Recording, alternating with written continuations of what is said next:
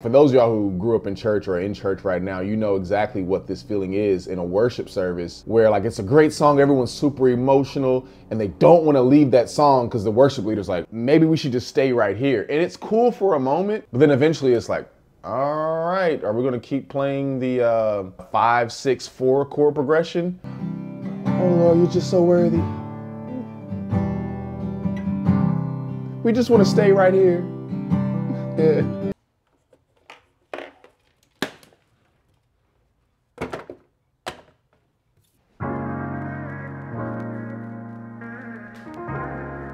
All right, y'all, I'm done trying to think through like what my new channel is gonna be about. I know that I'll get there eventually. The thing that's been on my mind is don't ruin a good moment by being unwilling to let it go. So right now I'm in Los Angeles, California. I live, I purchased a home in Atlanta, Georgia, top of pandemic, like end of March, early April 2020, right? Like this is like back when everybody was buying up all the toilet paper, but they weren't buying soap. That was always odd to me that the the shelves the shelves always had hand soap.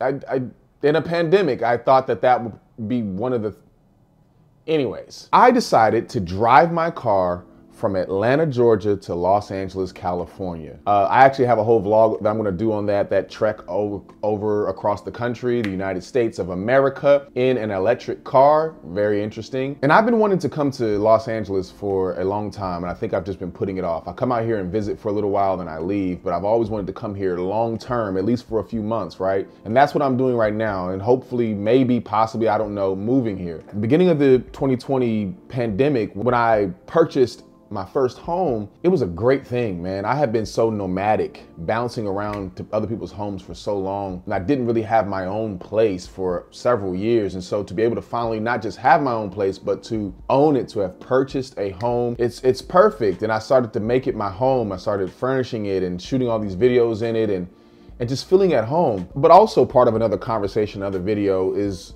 you know, when I left the church, I left the Christian faith. I announced it uh, last year in August 2021. Uh, my community started to change a bit, and I still have a lot of great friends in the church. Um, they're really cool people, and I still hang out with uh, some of them, and I love them. I don't really have any. I don't really have any hate or animosity for the church. Really, uh, it was just a decision. You know, I'm not leaving because of church hurt or God hurt or whatever other things that people try to, you know, put on to me. But the reality is, even when you're cool with people, like you don't relate the same way. Like, of course you want to have friends with you want to have friends that have differing points of view from different religious thought, philosophical standpoints, political backgrounds, socioeconomic circles, like all those things are great to make you a well-rounded person and also just to make the world a, a, better place and a better thinking place, a better loving place. But at the same time, you also know at some point you have to settle into your tribe. You settle into people who are very similar to you, even if not through socioeconomic or, or religious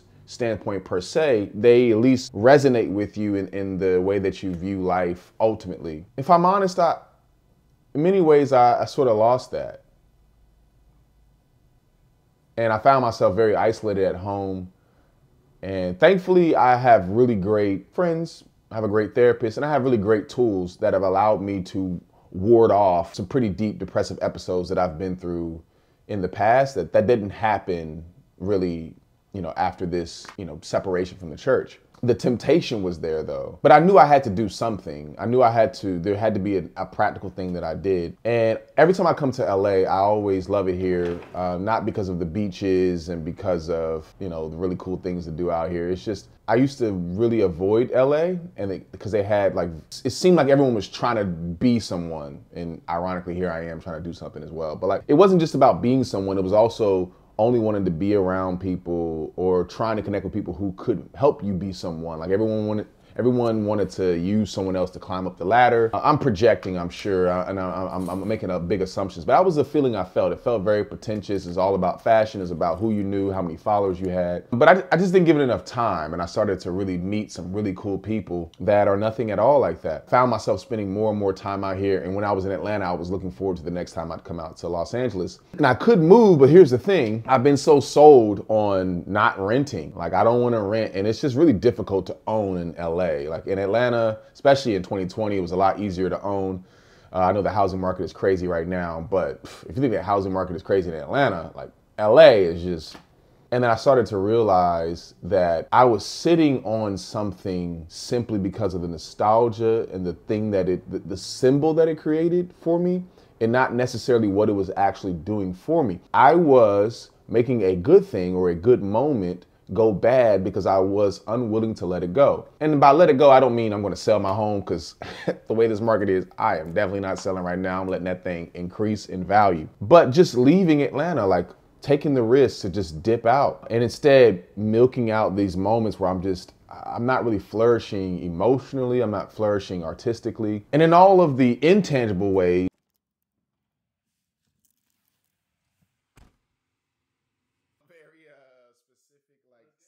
it made better sense to stay in Atlanta. And so this is my attempt just coming out here for a few months and maybe it turns into something more to not ruin a good moment to let that be what it be i think sometimes we're shamed or guilted. The job that you're complaining about is the one that you used to pray about. The thing that you have right now is the thing that you used to want so bad. And that may be true. The job that you prayed for the job that you longed for it was probably great. But there's nothing wrong with saying this moment served its purpose. And the longer i try to hold on to this moment for nostalgia because I'm afraid of the next moment because I'm afraid of moving on to something uncomfortable you begin to ruin the thing that was good. Let that thing just be and move on. You know, I was reading this book by Alan Watts that sort of put this thought in my in my mind. It was the book is called The Inse- The Wisdom of Insecurity, and he likened it to Beethoven. He was uh, referring to uh, and these different symphony composers who would create this really great song, and then the climax would end on this big crescendo, and because they didn't want to let it go, they just would play the same chord over and over and over again or same chord progression over and over again because they didn't want to leave the moment. There was,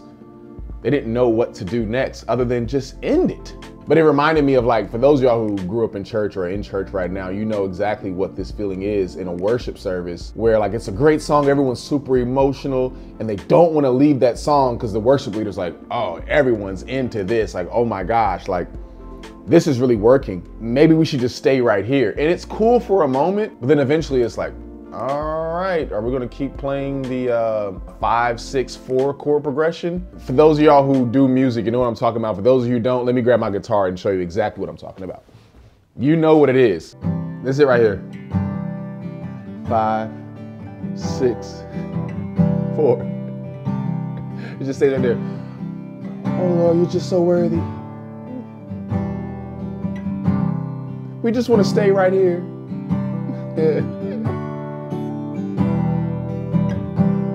and it's just gonna stay right there. And there's something about that four chord, the C right here, that it's not really quite, it's not going away like the D is. I feel like the way it go, the D chord goes away and the G resolves. See, it's the end of it. Done. The C just kind of sits right there in the middle. It's not going away. It's not coming here either. You'll recognize it next time you go to church, man, I promise. and it's like, people in the crowd are like, okay, great moment, it's going to get a little long now. You know, friends that you may have had from childhood that every time y'all get together, all y'all do is rehash old memories from high school or maybe college, but you don't really have any truly new memories or new experiences with them. Y'all haven't moved forward. Y'all just keep playing the same chord and you feel some obligation to them because they were there so early on. And it's like, ah, maybe they were great for that particular season. And it's okay to not ruin that by trying to milk it for more than what it has. So anyways, I'm out here working on music, trying to move forward in my life, creatively, emotionally, philosophically, spiritually, all the alleys, emotionally, socially, psychologically, philosophically. And I hope to continue just to share thoughts like this with y'all as they come. Hopefully they're helpful. I'll be vlogging and just showing behind the scenes of my life here in LA in my new Airbnb.